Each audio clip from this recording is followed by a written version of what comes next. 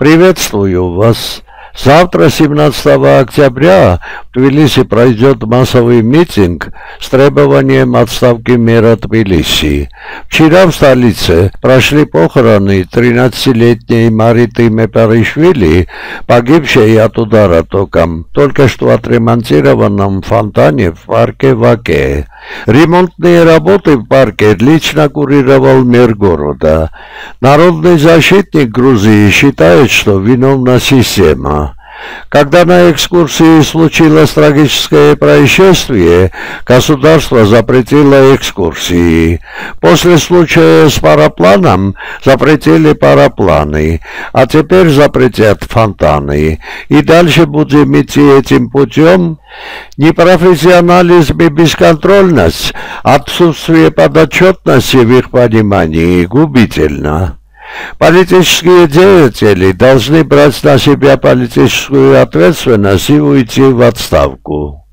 В ноябре месяце в Грузию планируется привести еще одну группу украинских детей из Черникова. Тут же отмечу, что по сообщению Илона Маска, Украина продолжит получать бесплатный интернет через спутниковую связь Starlink. Президент Грузии отправился на переговоры в Кишинев первым рейсом молдавской авиакомпании Air Moldova. Белорусская певица и экс-телеведущая Вера Каретникова вышла замуж в Грузии. Церемония прошла в Грузии и была весьма закрытой. На финальном этапе Гран-при среди юниорок по фигурному катанию в Италии успешно дебютировала начинающая грузинская фигуристка Инга Гургенидзе и заняла третье место.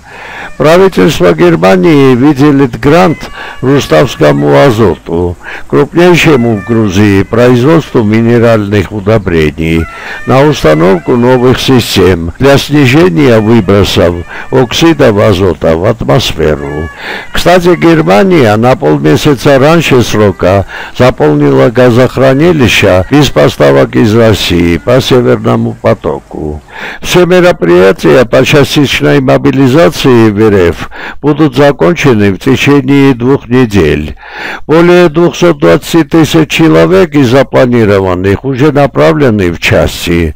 В связи с мобилизацией в России пилота забрали с подготовленного к взлету самолета, из-за чего задержали регулярный рейс из Уфи в Анталию на 9 часов. Удачи всем вам!